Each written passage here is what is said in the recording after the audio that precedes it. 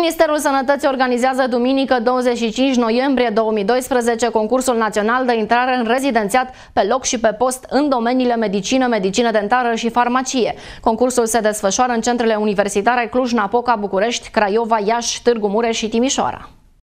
Absolvenții Universităților de Medicină și Farmacie care s-au înscris la concursul de rezidențiat organizat de Ministerul Sănătății vor susține probele impuse la data de 25 noiembrie 2012. La fel ca și în anul trecut și în acest an, concursul se va desfășura descentralizat în șase centre universitare din țară, Cluj-Napoca, București, Iași, Târgu Mureș, Timișoara și Craiova. Locurile și posturile mult dorite sunt pentru toate domeniile, respectiv medicină, medicină dentară și farmacie, conform cu tematicile anunțate. Ce ne puteți spune despre concursul de rezidențiat? Concursul de rezidențiat în acest an va avea loc în data de 25 noiembrie și ca și anul trecut se va desfășura în centre universitare, deci descentralizat.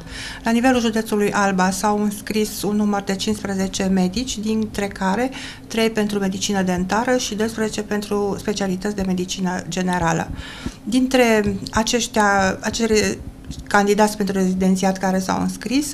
Uh, trei vor concura la uh, Centrul Universitar din Târgu Mureș, iar ceilalți 12 la Centrul Universitar din Cluj-Napoca. Unitățile sanitare din județ au uh, scos în totalitate un număr de 20 de posturi. Ca noutate, în acest an s-a decis organizarea concursului de rezidențiat pe poș și pentru spitalele clinice, nu numai pentru spitalele mici, ca un element de susținere a tinerilor medici pentru continuarea carierei profesionale în țară. De asemenea, numărul posturilor scoase la concurs nu s-a mai stabilit aleator numai pe criterii istorice, ci în funcție de dinamica de personal din ultima perioadă.